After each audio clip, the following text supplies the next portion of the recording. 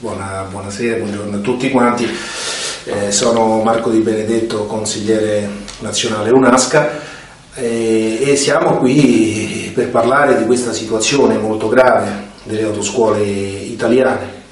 Noi abbiamo un blocco di questa situazione che ormai come tutte un po' le, le, le categorie professionali è in grandissima sofferenza. Questa sofferenza è, è, necessità urgente che venga sbloccata perché ci sono dei problemi legati a tutta una serie di situazioni. Noi, eh, pur avendo un codice ateco che ci permette di rimanere aperti, non possiamo operare.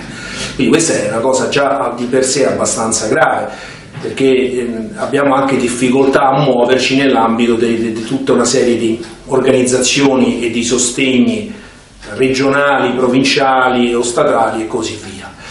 Ma il problema maggiore sta nel fatto che noi eh, potremmo riprendere le nostre attività con una grande facilità. Bisogna calcolare che oggi in Italia noi avremo un numero di, di, di allievi dentro le nostre autoscuole molto importante e nel momento in cui finirà appunto questo, questo lockdown completo dovremmo riportare questi ragazzi a fare gli esami di teoria. Gli esami di teoria che erano già complicati prima del, della pandemia, oggi la situazione si è acuita e ci sarà necessità di sbloccare rapidamente questa parte.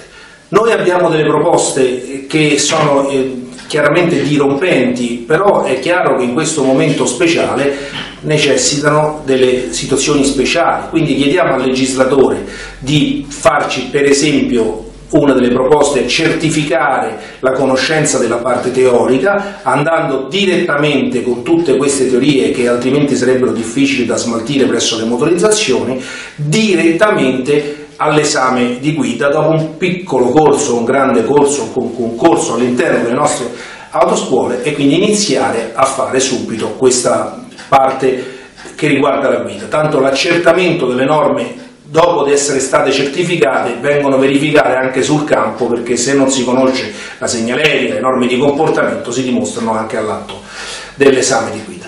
Questo da una parte ci facilita l'ingresso alla, alla, alla, alla, liberalizzazione delle aule che ci svuoterebbero, quindi ricominceremo nelle aule solo con i nuovi iscritti e quindi con spazi adeguati e nello stesso tempo ci permetterebbe di spostare il lavoro sulla parte guida dove ci permetterebbe di recuperare una parte di questo deficit economico che ci ha prodotto questi due mesi di, eh, di stop.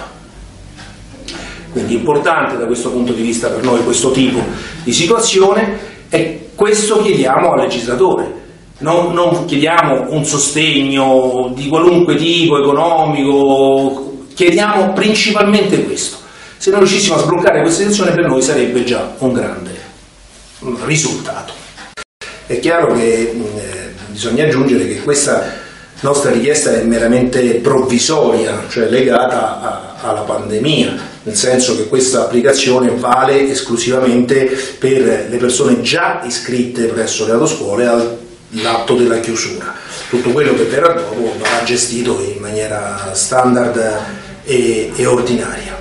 E quindi è importante anche questo passaggio perché noi non ci vogliamo sostituire alle, diciamo, agli uffici della Direzione Generale della Motorizzazione che peraltro sta facendo un grande sforzo per cercare di venirci incontro nel nostro lavoro e quindi a darci una mano per ripartire. Per questo noi ringraziamo eh, la direzione generale che sta facendo questo, ma pensiamo che in questo momento eh, potrebbe essere utile anche per loro avere questo disimpegno dalla parte diciamo, dell'esame teorico che favorisca anche per loro una pressione minore sugli uffici con tutta la gestione eh, anche sanitaria che dovrebbero avere.